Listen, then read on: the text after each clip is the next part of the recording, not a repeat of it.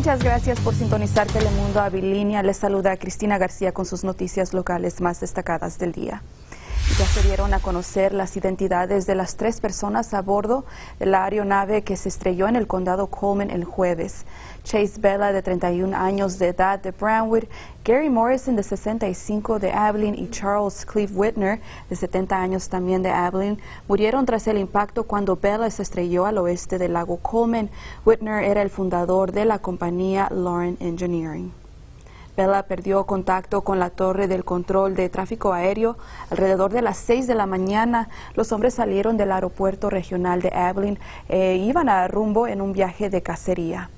Durante la última llamada que recibió el centro de control, Bella dijo que sus instrumentos estaban fallando y que estaba planeando regresarse a Abilene. La Junta Nacional de Transporte y Seguridad se encuentra investigando este accidente.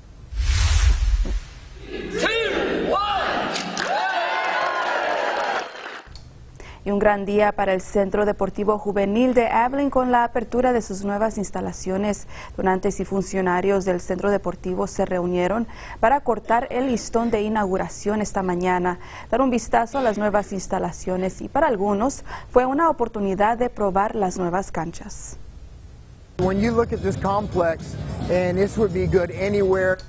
Cuando miras este complejo, y esto sería en cualquier lugar, cualquier estado, cualquier gran ciudad, pero para tener esto en Abilene es un honor y una bendición para la ciudad debido a la forma en que este complejo es, es absolutamente hermoso. Fue lo que nos comentó Jeff Groban. La ceremonia también le hizo tributo al fallecido John Smith, quien ayudó a comenzar este sueño hace más de una década.